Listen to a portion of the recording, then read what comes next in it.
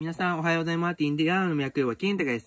侍ジャパンの公認がほぼ決定的でございます。中日や巨人で活躍した井端弘和氏に決定です。残念ながら迷宮会入りにならなかった選手でございます。はい。確かに栗山監督、続投意思あったんですけど、残念ながら退任でございます。確かに難航はしておりました。はい。